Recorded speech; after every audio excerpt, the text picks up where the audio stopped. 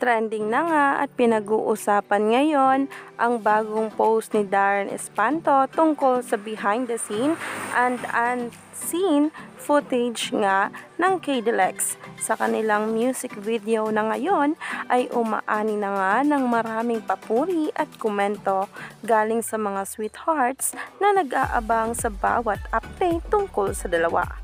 Kaya naman narito na nga at sabay-sabay nating panoorin ang maikling video kung saan pinakita ni Alexa ang kayang gawin ito.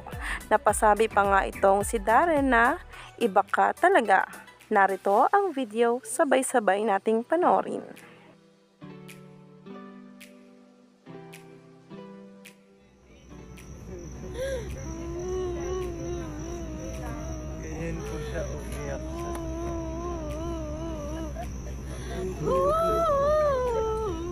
Ay!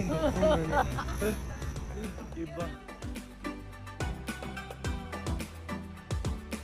At marami pa nga talagang maipapakita pang galing itong si KD at si Alexa sa atin.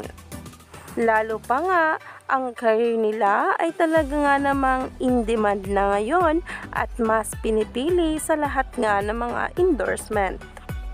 At event na kung saan talaga ay dinudumog nga ang bawat nitong ginagawa kapag ito ay merong mga kaganapan tulad na lamang ng guesting or mall shows. At syempre sa mga upcoming events pa ni KD sa Davao at Camiguin.